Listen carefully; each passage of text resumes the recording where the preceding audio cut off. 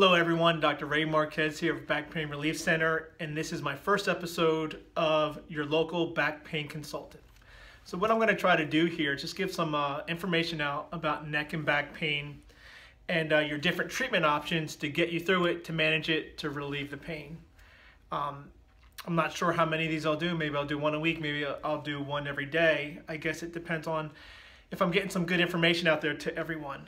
And the different things that I'll be doing is just going over different cases or at least unique cases that we see in our offices and uh, go through them and see if it can help you. And what I mean by help you is maybe give you the right information or the right track to go in order to get yourself fixed up. Um, if you don't have neck or back pain, this channel probably won't be of any interest to you. But maybe a family member or a friend um, is in some pain and maybe it'll help them. So first, just a little bit about me. Uh, I've been practicing for, you know, about 17 years or so, and I've helped many, many people with their neck and back pain. Uh, I have two offices. I have one in Vineland, New Jersey, and one in uh, Myrtle Beach, South Carolina. I know that sounds a little odd. It's just kind of how life has led me. Our office in South Jersey is doing extremely well and busy, and we're helping a lot of people. We have Dr. Stacy Vaking up here too, and she's helping quite a few people. Um, just kind of life choice. My family and I uh, wanted to move down south. Um, we ended up opening a clinic there, and um, that's doing well now. We're helping some people down there also. So I know it's a little of a bit of a unique situation, but I'm in New Jersey on Wednesdays and Thursdays all day long, 8:30 to 6. I'm helping as many people as I can uh, with the aid of Dr. Vakian. She's also here on Mondays and Tuesdays. We are a walk-in, no appointment needed clinic. We're here to make it convenient, affordable, and easy for you to get out of pain as quickly as possible. What's unique about our clinic is we understand that we can't help everyone. For a lot of people, chiropractic is, is a godsend. It is the best thing that has happened to them. We relieve their pain, we get them back on the road to functioning and feeling better, and they're great. For some other people, it just may not, not be. Uh, some people, it may even aggravate a little bit in the beginning, and we do need the aid of other physicians to help them manage or relieve their pain. So we have a close network of other doctors, including medical doctors, osteopathic doctors, orthopedics, rheumatologists. Um, good network of doctors that we refer to to help you get through your pain. What else here? So I'm going to be call, talking about different cases. If you're a patient of mine, don't worry. I'm not going to use any names or, or precise uh, information about anyone. I'll call it kind of all be general because a lot of people are suffering from the same types of pains. So maybe this information helps you. I hope, I hope it does. Okay, so first off, we had a case in the other day, and this is a personal injury case, meaning someone got in an accident.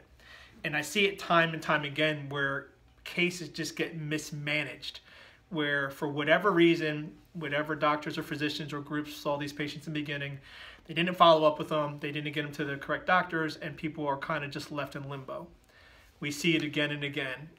All right, so what do I want to say here? One of the things that we do well here is that we help patients manage their pain and manage their conditions to get them better quickly, meaning we're going to get them to all the necessary doctors to get this thing straightened out.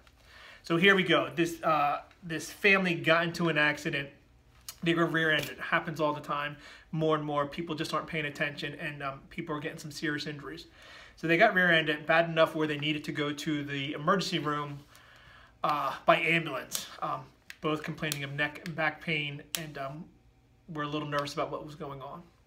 So they get to the emergency room, and like most emergency rooms, everyone's waiting for a long time. And um, they get in there, and they finally get some tests done when all the tests are done, they're really kind of in limbo of what needs to be done. So, for instance, the one patient, you know, they did uh, CTs or CAT scans. They took some X-rays. Um, they looked at everything, but didn't really go over it with the patient. They say, "Oh, you're okay. It's probably just a soft tissue injury."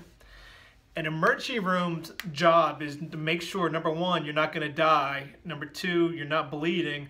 Number three, nothing's broke and nothing's in immediate danger. Then they're going to refer you out to other physicians. But sometimes that's a gray area and it doesn't always get there as quickly as they should. So the patients have all these tests done and they kind of send them home. They get up the next day and they're not really sure what to go. So they kind of just take the medication that they were given and they're hoping, I guess, to start feeling better.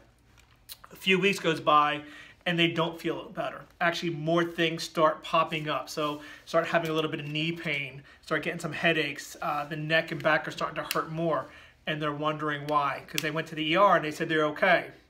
Well, that's not always the case because sometimes there's some underlying issues like soft tissue injuries, some prior uh, degenerative disorders that are now exacerbated or feeling worse, and now this accident has aggravated everything. So they actually saw me on social media. Um, we spoke a little bit on Facebook. Um, and just a side note, if you're seeing this, you can always message me on Facebook. We'll talk. Um, I'm really accessible to everyone. So she comes on in, and we find out that uh, the accident was a few weeks ago, and she hasn't seen, or they both haven't seen anyone yet. So what needs to be done? Well, first, um, we get all the records from the ER. We find out what's going on. I review everything we took some more imaging, meaning we took some more x-rays to see uh, exactly what's going on, stuff that they wasn't covered at the ER. And um, we do a full orthopedic neurological exam and we establish a base case and see exactly where we're at.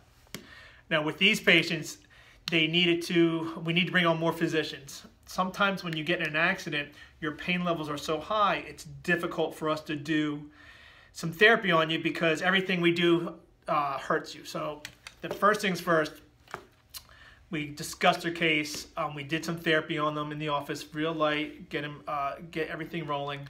The next thing we did is got them in with one of our medical doctors that we refer to because at times medicine is completely appropriate. So with these patients, I believe that we needed to get some inflammation down, get some pain levels down so they can better handle uh, the therapy. So what we did was refer them to our medical doctor. So they should be getting in there today or tomorrow and then we set them up on a care plan. One of the people in the accident had uh, an additional leg problem, and that leg problem, I'm not sure really what's going on in there, and it's not my specialty. I'm more, I'm a spine doctor. I focus on the back. Um, we do help some extremity joints, but this one here, I want to get a clear picture of what's going on, so we're going to refer to an orthopedic. Also in her picture, we most likely will have to refer over to a neurologist and um, get some more tests on to see exactly what's going on. So what we're doing is managing that case. So number one, I'm going to handle the therapy on them. Number two, we'll get them over to the medical doctors. Number one, for pain levels. Two, for an orthopedic to make sure everything's working correctly. And possibly a neurologist to make sure that we don't have any neurological deficit. So many times when it comes to neck and back pain, we need a group of doctors to help you feel better and make sure that we're doing all the right things. Um, one more additional thing with this thing. So the, the big takeaway that with personal injury, if you go to an ER and they say everything's fine and you're still feeling things, make sure that you get back in to see me uh, this way. We can go over everything, get you to all the proper doctors, make sure that you're going to recover fully from this. The next thing with personal injury cases, and this is uh, for New Jersey, not so much for South Carolina, but we still follow the same protocol. In New Jersey, they have a thing called the uh, New Jersey Care Path Guidelines and their guidelines that were established by, I'm not sure, I guess the state or somebody, and they're saying they would like you to do certain things, meaning the doctors, in, in a particular way in order for them to pay for all your bills. And what I mean is we all have uh, personal injury protection or med pay on our car insurances to take care of our injuries that we sustain, whether we're at fault or at fault in these accidents. And the care path guidelines say you can go to an ER after the ER, they want you to see a medical doctor, and then they want you to start some therapy. So take some medicine do some therapy for a month. If after that month you are still feeling some discomfort, at that time they'll approve imaging, meaning more x-rays, um, MRIs, CTs, um, specialized tests such as EMGs, things like that. And then they want you to start seeing specialists, meaning a neurologist, an orthopedic, rheumatologist, whoever we may need to get you um, feeling better. And with these guidelines, we follow them as, as closely as possible because when they're not done correctly, then the insurance companies give us a little bit of a hard time. We have to send more notes in. We may have to appeal it. It may get denied. And it starts a process that makes it difficult for the patients to get their care taken care of. So the New Jersey Care Path guidelines we have to try to stick to as best we can. So again, the big takeaway with this case and what I saw was they went to the ER, they weren't managed correctly, or at least in my opinion, they weren't managed correctly.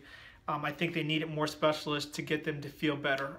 Uh, so if you've been in an accident and you go to the ER and they uh, say everything's all right and you're not sure about that, um, call me, message me, stop in. Uh, I'll give you a free consultation and we'll push you back on that road to feeling better. Okay, so I hope that helps you a little bit. If anyone out there has been in an accident, again, you can always message me, email me, uh, give us a call at the office. I hope that helps. Um, we'll come back and talk to you again on episode two.